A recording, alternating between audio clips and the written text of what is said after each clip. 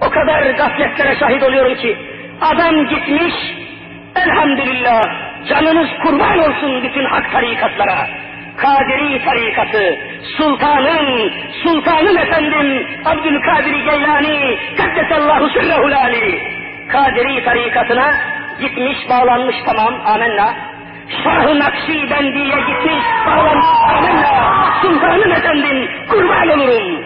Bağlanmış, bağlanmakla ki her şey gitmiş zannederse, öz çocuklarına bakmazsa, yavrularına, hanımına, çocuklarına namazı, Kur'an'ı, İslam'ı aşılamazsa, vallahi o tarikatta o adamı kurtaramayacaktır. Hiç kurtaramayacaktır. Mesulsün Müslüman. Ben şeyhimin eteğinden yapıştım. Ben şeyhimin yoluna bağlandım. Gece kalkar dersini yaparım. Yüz bin defa Subhanallah derim. Tamam cennete giderim dersen vallahi aldanırsın. Vallahi aldanırsın. Hani çocukların senin, hani kızın ve karın, hani sülalen, hani zürriyetin. Sakın ha, sakın aldanmayasın. Şeytan seni vesveseye kaptırmasın. Bak sabah namazına kalkıp giderken öz hanımını yatakta bırakıp gidersen cehenneme gidiyorsun. Nereden bahsediyorsun sen? Hangi zikrullah'tan bahsediyorsun? Ya bütün kurtulacaksın ya toptan kahrolacaksın. Olmaz. Hazreti Nuh Aleyhisselam'ı unutuyor musunuz? Nuh Aleyhisselam tufan gelmeden önce Allah'ın emriyle gemisini inşa etti. Gemi Sefine-i Nuh, Nuh Aleyhisselam'ın gemisi inşa edildi, yapıldı, tamamlandı. Biraz sonra Allah'ın azabı gelecek, tufan gelecek. Gark olacak bütün her şey.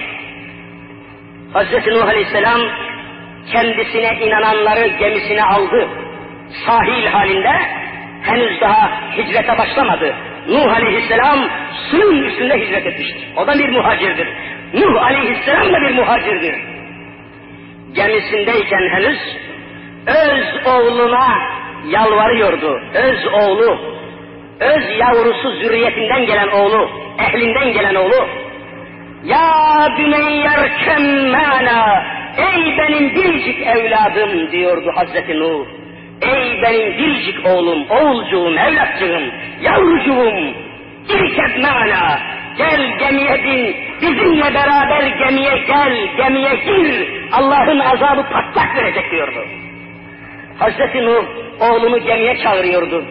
Sen sabah namazına kalkarken hanımcığım, yavrularım siz de namaza gelin diye onları namaza çağırmıyorsanız vallahi vazifenizi yapmış sayılamazsınız. Bak Nuh Aleyhisselam ibadet. Ya buneyyer kemmana. Gel yavrum sen de şu gemiye bin. Sen de kalkacaksın. Gel yavrum sen de şu seccadeye Allah diye secde isteyeceksin. Niçin söylemiyorsun? Sana vazifesi değil mi zannediyorsun?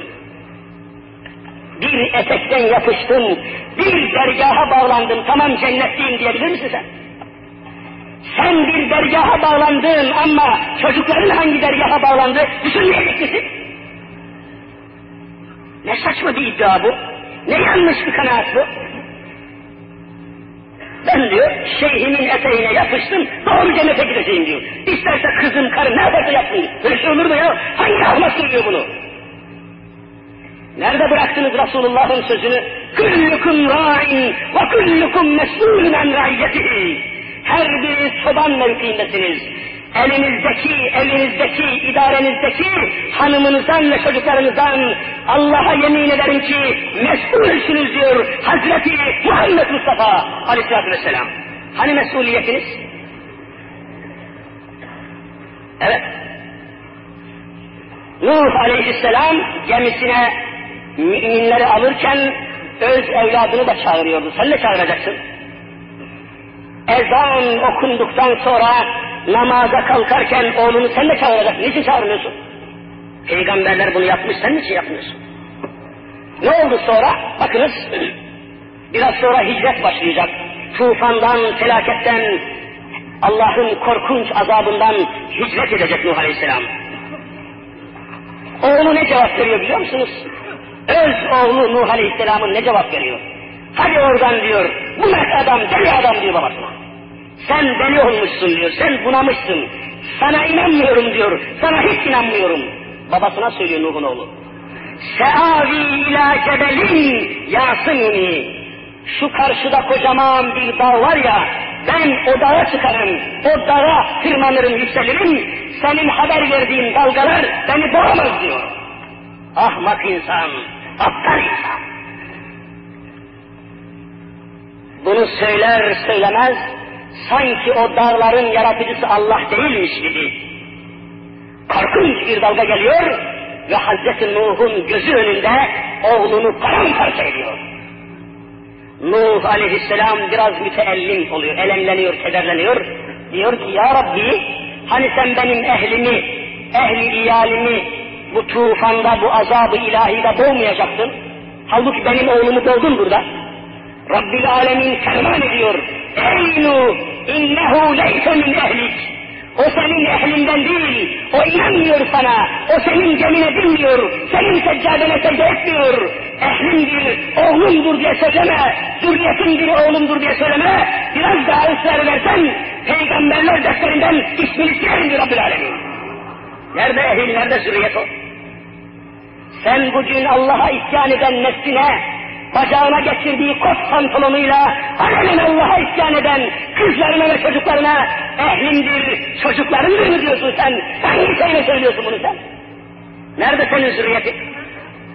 Senin geldiğin camiye gelmeyen, senin secde ettiğin Allah'a secde etmeyen, senin çektiğin besmeleyi çekmeyen, senin okuduğun ezanı okumayan, senin okuduğun Kur'an'ı okumayan, senin ehlin midir, senin çocukların mıdır bunlar? Niçin anlamıyorsun? Niçin çaresine bakmıyorsun? Niçin derdine düşmüyorsun? Niçin çaresini aramıyorsun? İşte hicret bunu aramak demektir.